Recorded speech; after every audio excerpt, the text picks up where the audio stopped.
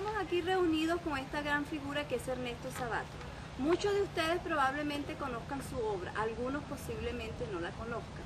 Lo importante tal vez es presentarle al hombre, a este Ernesto Sabato, escritor, catedrático y ahora político de cierta manera. Háblanos un poco de tu vida como de artista y de escritor. Bueno, yo soy un escritor argentino de origen italiano, albanés para ser específico. Nací el 24 de junio de 1911 en Rojas, provincia de Buenos Aires. Puedo decir que tuve una esmerada formación académica como físico, en la cual hice un doctorado en la Universidad de, de Plata en 1937.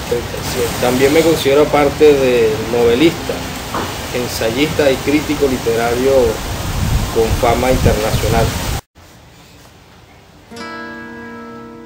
Acuerda del futuro? Es decir, ¿piensa en su futuro?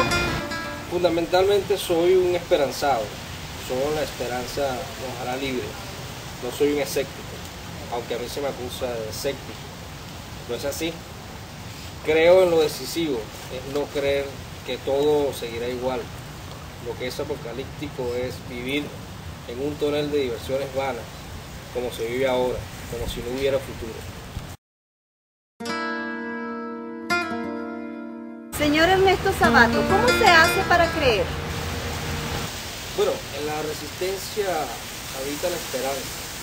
La esperanza es insensata y agrega un destello por algo.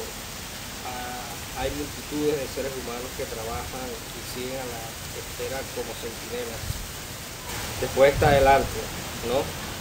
El arte salva. A mí me salvó la pintura.